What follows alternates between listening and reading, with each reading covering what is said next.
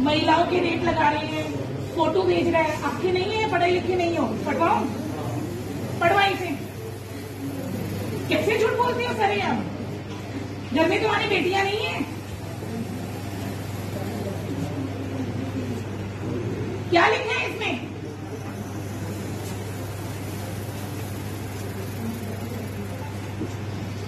इतना मिलने के बाद तो वैसे ही वो- वो तुम्हारा जो है होटल वोटल फील हो जाना चाहिए।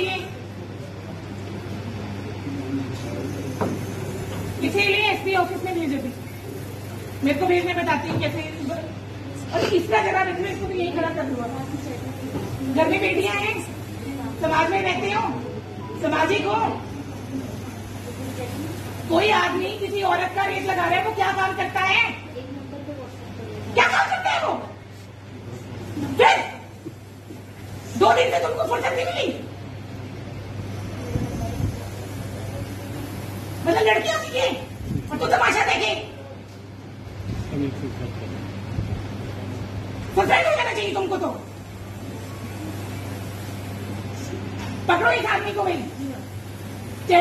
कॉपी निकालो, इस आदमी को पकड़ो। कौन है ये आदमी? अभी के भी पकड़ो इसको। और कौन सा होटल है, उसको बंद करा दो।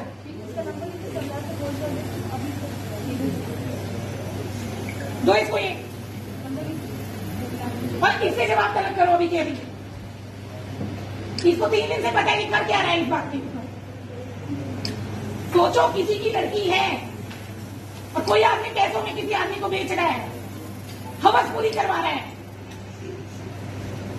पता लगने के बाद तो झूठ झूठ बचा देना चाहिए वहाँ पे। अगर वो आदमी की ऐसे औरतों को बेचेगा वो अपनी बीवी को कैसे सुरक्षित रखेगा बताइए?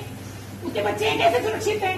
और आप लोग बिल्कुल संवेदनशील नहीं है। अगर आपसे नहीं हो रहे एसपी ऑफ़िस में भेज दो डीएम ऑफ़िस में भेज दो किसी को बता तो दो। सीओ सर्कल होते हैं। गलत बात है। छोड़ो अभी किसको दिखाइए?